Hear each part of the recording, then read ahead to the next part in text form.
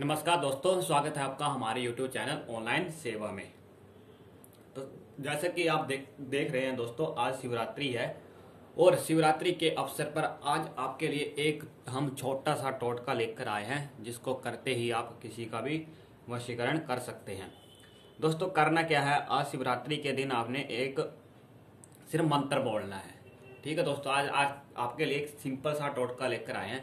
सिर्फ़ आपने मंत्र बोलना है। कुछ करना नहीं है। मैंने माला के अंदर अब इस टाइम अमरूद रखा हुआ है। ठीक है दोस्तों? अब मैंने अमरूद के ऊपर मैंने इस टाइम मतलब मंत्र मार दिया है। ठीक है दोस्तों? इस वक्त मैंने अमरूद के ऊपर मंत्र मार दिया है। तो आपने क्या करना है? आज सिर्फ़ भोलेनाथ का नाम लेना है मन में, और जिसका भी वशीकरण करना है, वो वशीकरण आज पूरा होगा ही होगा। तो आपने क्या करना है जो हम आपको मंत्र देंगे, उस मंत्र का जाप करना है। जाप करने के बाद आपने उस अमरूद को, उस इंसान को खिला देना है। आज खिलाना कैसे है, आपको पता ही आज भोलेनाथ भोलेनाथ का दिन है आज। तो आपने प्रसाद समझ के मतलब उसको खिला देना है।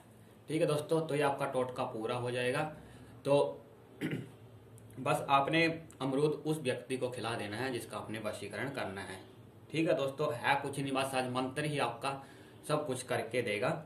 तो आज का टोटका, ये छोटा सा टोटका आपके लिए लेकर आए हैं। तो ऐसे, अगर आपको इस टोटके की जानकारी पता नहीं चली हो तो नीचे दिए गए नंबर पर अभी संपर्क करें। धन्यवाद।